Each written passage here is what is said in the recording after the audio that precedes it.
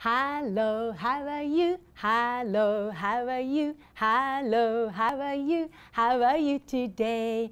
I'm fine, how about you? I'm fine, how about you? I'm fine, how about you? How are you today? Hello, everyone. Good to see you. Well, I heard that Kids Min um, Day Camp is coming up in July. That's exciting.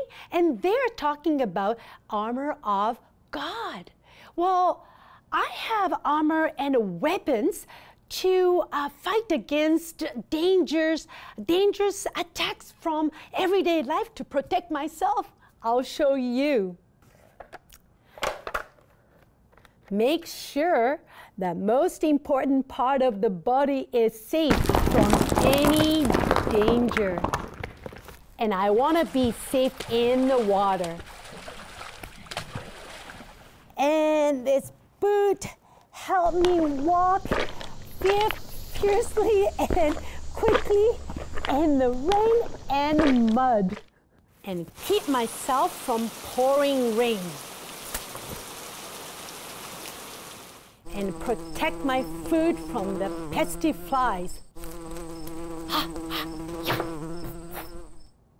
what? These are not the armor of God? Oh, really? Well, then we should ask Teacher Evelyn. Are you ready? Here we go. One, two, three. Teacher Evelyn.